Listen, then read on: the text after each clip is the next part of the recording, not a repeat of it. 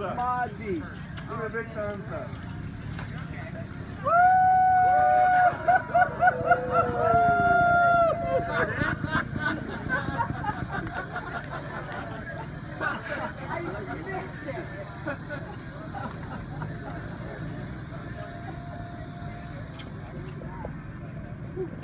Good.